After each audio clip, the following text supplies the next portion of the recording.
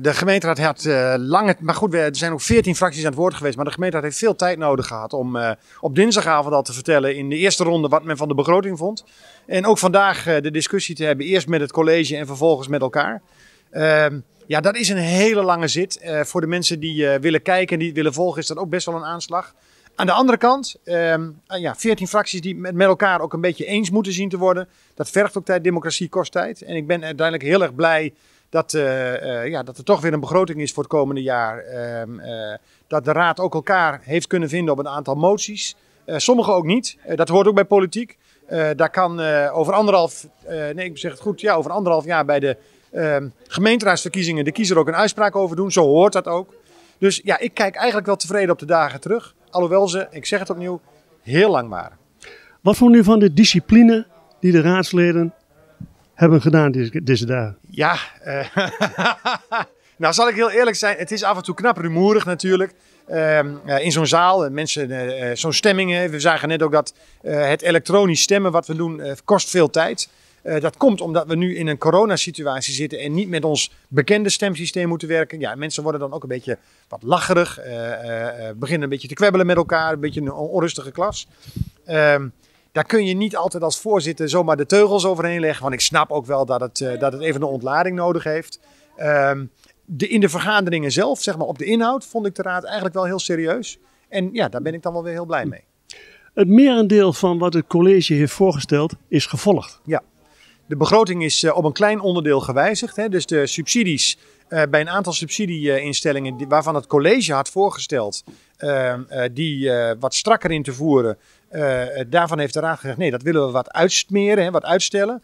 De Raad heeft ook geld binnen de begroting, als het ware, heen en weer geschoven om dat mogelijk te maken. Dus ja, op hoofdlijnen is het voorstel van het college door de gemeenteraad aangenomen. Ja.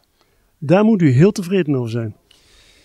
Ja, daar ben ik tevreden over. Maar ik ben ook voorzitter van de gemeenteraad. Ik ben als burgemeester, ik ben niet een van de wethouders. Ik ben wel voorzitter van het college. Ik ben ook verantwoordelijk mede voor die begroting als lid van het college.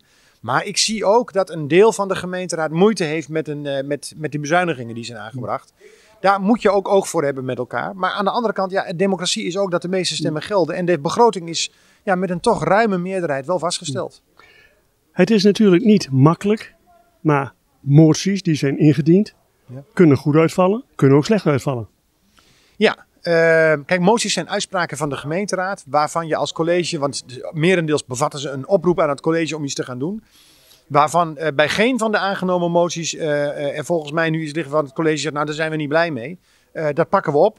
er zijn vaak wensen om dingen in kaart te brengen als het gaat over cultuur en de cultuurvisie te ontwikkelen.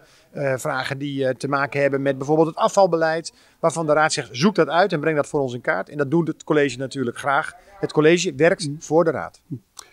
Eén ding wil ik er even uitlichten. Dat is de motie voor het dienstencentrum De Riet. Mm -hmm, dat snap ik. Heel veel oude mensen zullen niet blij zijn met de uitslag. Uh, nee, maar ook hier geldt weer dat zo'n gemeenteraad met elkaar en met het college uh, anderhalve dag zou je kunnen zeggen, een avond en vandaag de hele dag het gesprek voert. Ja, dan komt het aan op gekozen politici, op die raadsleden om de argumenten met elkaar te wisselen. En ook het college om daarvan te zeggen wat het college vindt. Ja, en dan is uiteindelijk ja, de wijsheid uh, um, de inhoudelijke wijsheid ligt altijd in het midden. Uiteindelijk ja, draait het dan uit op stemmen. Um, ja, en dan zegt dus een meerderheid van de gemeenteraad: wij steunen niet de motie die is ingediend om uh, dat dienstencentrum toch open te houden. Althans, om die activiteiten die er nu zitten, om die daar ook te houden. Als u erop terugkijkt, toch een goed gevoel? Ja, ik heb een goed gevoel omdat de democratie gewerkt heeft. Uh, uh, er is debat geweest, er zijn argumenten uitgewisseld. Niet iedereen heeft zijn zin gekregen. dat helaas gebeurd had. Ik zie als voorzitter ook dat er veel moties met eenparigheid van stemmen is, uh, zijn aangenomen. Dat is ook goed. Dus ja, er blijft altijd teleurstelling uh, uh, bij mensen die hun punt net niet hebben kunnen binnenhalen. er blijft misschien ook wel een gevoel van euforie van de mensen die zeggen, nou, het is gelukt. Hè? We hebben datgene wat we wilden binnenhalen binnengehaald. Ehm, dat is eigenlijk het lot van elke begrotingsvergadering waar dat speelt. En als dat goed gewerkt heeft en de mensen ook zonder dat, dat die pijn lang blijft hangen naar huis kunnen gaan, ja, dan ben ik tevreden.